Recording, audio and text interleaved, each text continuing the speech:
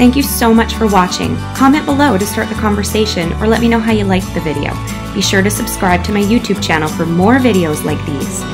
Check out my Facebook page and my website linked below for more ongoing positive content.